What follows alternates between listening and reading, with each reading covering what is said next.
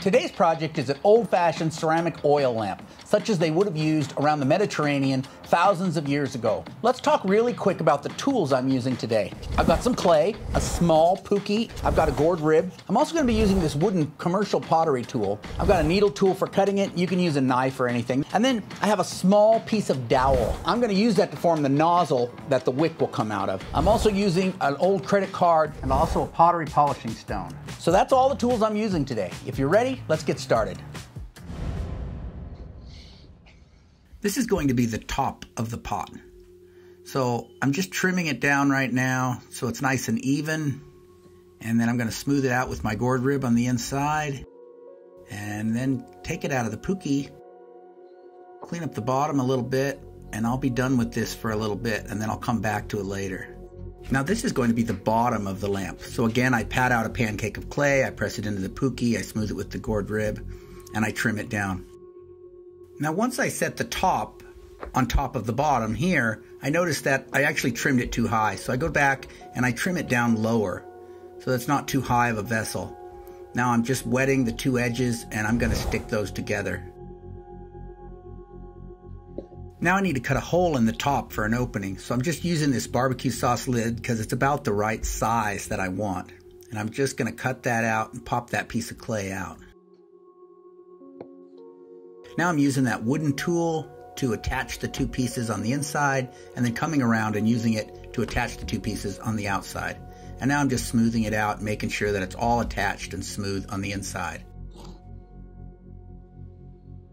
The first time I made one of these was last year, and I was so focused on getting the shape right that I kind of wasn't thinking about size. And this is a lot bigger than I want. I mean, it's gonna take a lot of olive oil to fuel this thing up. Now, in preparation for this project, I bought these wicks off of Amazon, so these should work good, and I wanna make sure that I have an opening that is large enough for the wick to go down, but not too large for the wick to fall down into the oil.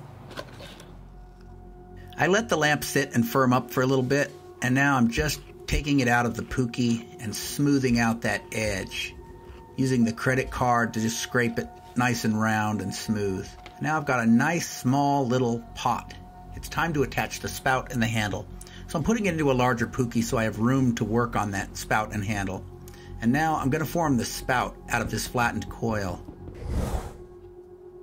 Just rolling that clay around that dowel and smoothing it out.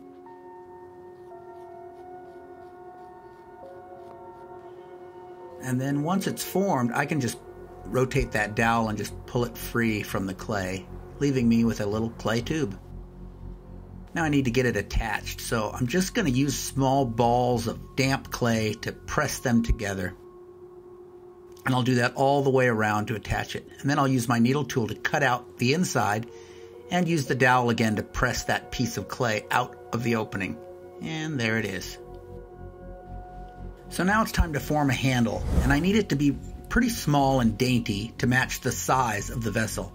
Unfortunately, I wasn't being careful about camera angles when I attached it, so I didn't get any good video of me attaching the handle. So there it is, attached.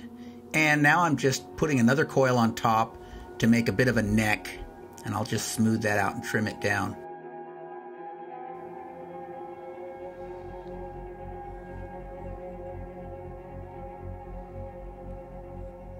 And it's all formed.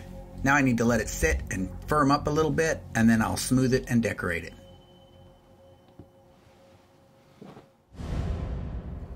This is the stone smoothing step. It's not polishing the pot, it's using a wet stone on a still rather damp pot just to give it a nice smooth texture.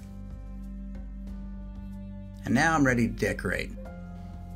This is copper carbonate and I'm going to apply this just as it is with a little water.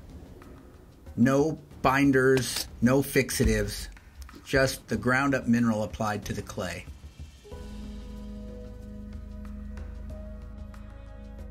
This is red ochre mixed with water, so it's kind of the same idea as the copper carbonate, just a ground mineral mixed with water with no fixative. And if you're going to use ground minerals like this without a fixative, then the only way to make it stay on the pot after firing is to burnish it into the damp clay. And that's what I'm doing here. After firing, the copper carbonate will turn dark gray or black, while the red ochre will stay red.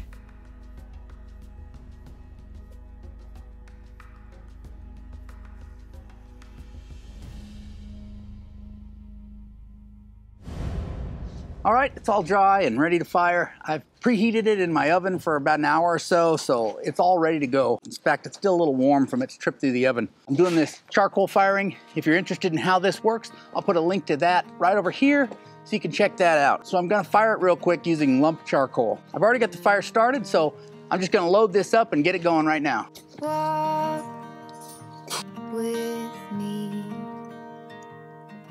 Let's leave the past behind. Walk with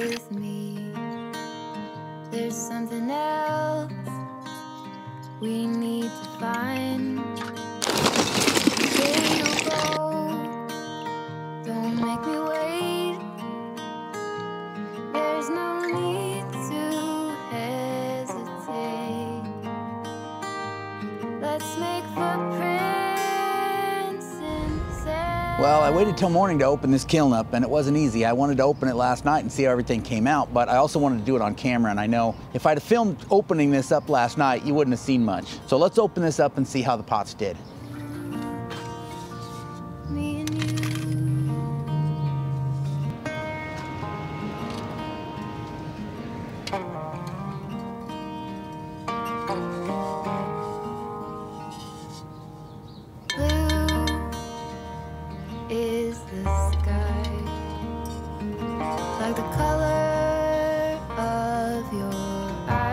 Okay, the pots all came out really good. Everything's fired nice and hard.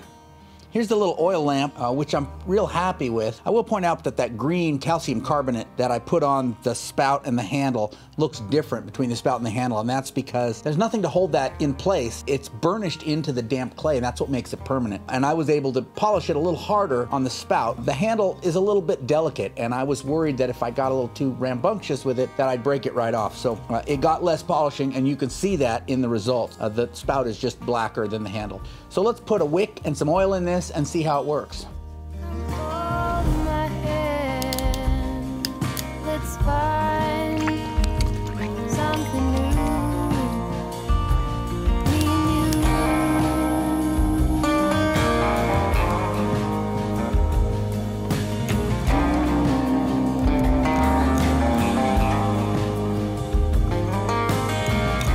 All right, another successful project. If you enjoy these kind of projects where I make something and then use it afterward, check out this video right here where I make a cooking pot and then cook some soup in it. Thanks for watching. I'll catch you next time.